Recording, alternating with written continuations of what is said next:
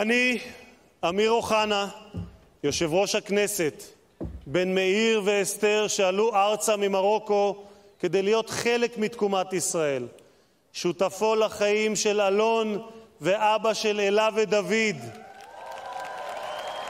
מתכבד להשיא משואה זו של יום העצמאות ה-75 של מדינת ישראל לכבוד כל העולים שבאו מכל התפוצות והגשימו את חלום הדורות, לכבוד המתיישבים בכל רחבי ארצנו האוחזים בקרקע ומפריחים אותה, לכבוד הכנסת, סמל הדמוקרטיה והריבונות הישראלית המשקפת את הפסיפס האנושי המרהיב של כל אזרחי ישראל, לכבוד חיילות וחיילי צבא ההגנה לישראל והמשרתים במשטרת ישראל ובכוחות הביטחון וההצלה המגלמים יחד את השבועה לעולם לא עוד.